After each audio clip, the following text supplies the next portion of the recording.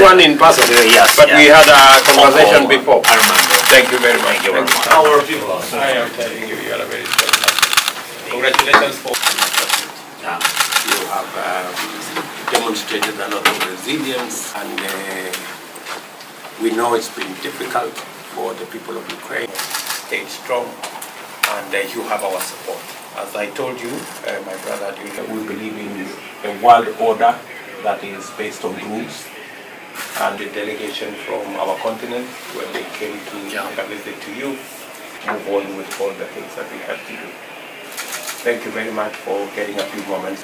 Thank you. Please pass message to First Lady. Thank you for that she participated with your team to come any available time mm-hmm. and to come to Kiev. Mm-hmm. We will hear and see attitude to, to your country mm-hmm. and to you. We see you and all our people. You know they became became in the war. They had to, to, to be strong and to hear all the voices. Mm-hmm. And that's why you have to know that they. Mm-hmm. And you're right.